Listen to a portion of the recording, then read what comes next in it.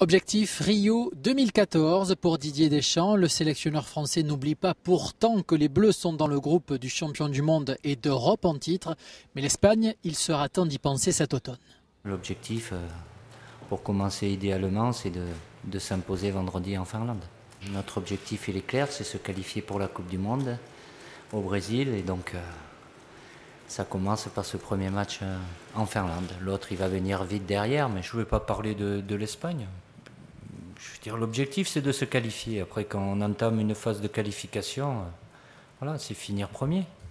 Je ne veux pas qu'on commence en, se disant, bon, ben, de toute façon, on finira deuxième.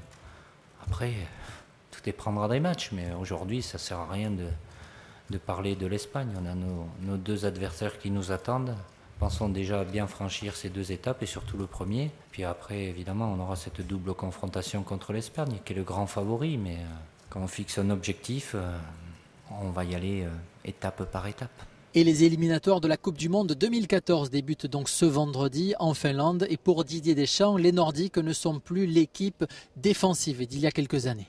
C'est une équipe euh, qui n'est pas du tout euh, défensive, qui n'est pas regroupée derrière, qui est portée à produire du jeu en partant de derrière avec euh, une organisation qui reste assez similaire euh, sur, sur la plupart des matchs en, 4-3-3 avec trois attaquants euh, assez, assez mobiles, assez axiaux, deux latéraux qui participent beaucoup à la phase offensive. C'est une, une, bonne équipe avec certains joueurs qui ont pas mal d'espérance. La plupart de leurs joueurs n'évoluent pas en Finlande. Hein. Ils sont, il y en a en Russie, il y en a en Suède, il y en a aux Pays-Bas, euh, il y en a en Allemagne. Euh, euh, il y a de la qualité, mais c'est pas comme il y a pu avoir il y a quelque temps une équipe ultra défensive qui reste là et qui attend et qui, qui contre.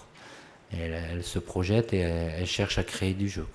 Didier Deschamps a aussi fait remarquer que de nombreux bleus ont moins de 20 caps internationales, ce qui est peu pour des matchs internationaux, donc l'expérience ne sera pas le point fort des bleus. J'espère qu'il va rien nous manquer, mais euh, l'expérience, oui, je l'ai déjà dit, euh, même si là, il y a quelques joueurs qui ont un peu plus, mais vous regardez sur les 23, le, compteur sélection, on est encore euh, léger, ce qui prouve que sur les, les, les 4-5 dernières saisons, il y, a, eu des joueurs qui sont venus, qui sont partis, d'autres, il y a beaucoup de joueurs qui ont moins de 20 sélections. Et à moins de, à moins de 20 sélections, on peut pas parler vraiment d'expérience internationale. Après, il y a des joueurs de qualité, avec du talent aussi. Euh, après, est-ce qu'il y en a suffisamment ou pas? De toute façon, euh, le, talent fera la différence à un moment ou à un autre, mais euh, collectivement, on doit être capable de, mettre notre empreinte sur le jeu par rapport à l'adversaire, de pouvoir lui imposer, lui créer des soucis, voilà, avec une idée de jeu directrice qui soit commune. Et pour finir, Didier Deschamps est revenu sur le transfert d'Hugo Lloris à Tottenham. Le coach des Spurs a déjà indiqué que dans 15 jours, lors de la reprise de la Premier League, Hugo Lloris ne sera pas titulaire dans les buts de Tottenham. Un problème pour le sélectionneur du gardien numéro 1 des Bleus. J'ai vu ce qu'avait dit euh, Villas Boas. Euh, bah, en tant que sélectionneur et par rapport à Hugo, c'est vrai que